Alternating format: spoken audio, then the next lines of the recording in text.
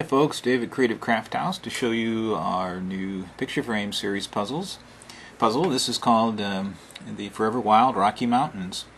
This is uh, one of my designs and uh, it will come in a few different styles. Uh, this particular one has four different hardwoods in the uh, floorboard frame that we make. Topped by, um, this is a quarter inch uh, white acrylic to give it kind of that uh, mountain top look. we've got a buffalo, a moose, a wolf, a mountain lion, an elk, a chipmunk, a coyote, a bear, and a uh, pine tree, ponderosa pine, uh, in this puzzle. Uh, actually quite difficult. If you've never seen it solved with the pieces outside, uh, solving it in under an hour is really quite a good accomplishment. Um, it is challenging and, and we think uh, very beautiful. Uh, everyone will be a little different uh, because mix up the woods. Each, each one will have at least four different hardwoods and sometimes five or six.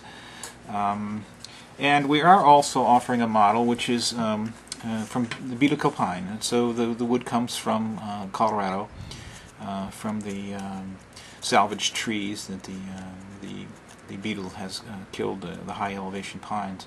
But it's a beautiful wood. The beetle injects a, blue dye, uh, which gives the pine this kind of effect. So that model is also available, and we hope you will enjoy it. Thank you.